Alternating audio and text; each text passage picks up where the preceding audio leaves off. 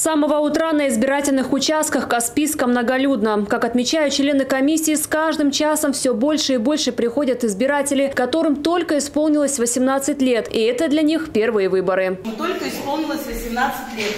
И он пришел выразить свою гражданскую позицию. Мы желаем тебе успехов в жизни, чтобы добился, наверное, успехов. Я думаю, что родители военные, и ты тоже, наверное, будешь военным. Да? Поэтому дайте тебе свой этот блокнот для записи великих дел и, конечно, ручки, чтобы написать. Молодец, пришел. С 8 утра до 8 вечера в штатном режиме работает УИК. Активность горожан проявляется с каждым днем, утверждают общественные наблюдатели. Сегодня у нас второй день голосования.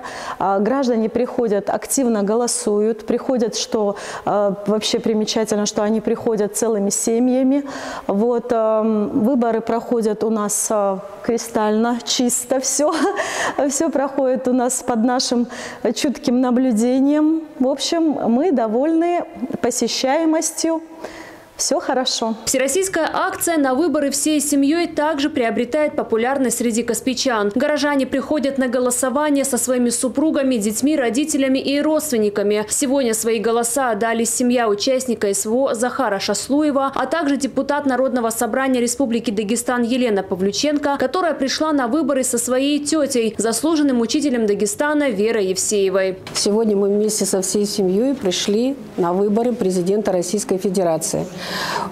У каждого человека, у которого есть паспорт гражданина Российской Федерации, есть не только права, но и есть обязанности. И каждый уважающий себя гражданин, который представляет из себя личность, должен, наверное, сегодня прийти и проголосовать за сильного президента, за сильную страну, за наше будущее. Я призываю всех, кто любит своих детей, кто любит своих родных, своих близких, голосовать за сильную Россию, за сильного президента. Проявили свою гражданскую позицию и трудовые коллективы города. Сотрудники знаменитого АО завода «Дагдизель» сегодня на избирательном участке отдали свои голоса за будущее нашей страны. Сегодня вот мы с коллективом пришли на выборы 16 марта, выборы президента России. Но хочется что сказать. Конечно, для э, российского народа это должен быть праздником. Статья 32 Конституции Российской Федерации гласит, что граждане России имеют право на голосование, а также быть избранными значит, государств- в органы государственной власти.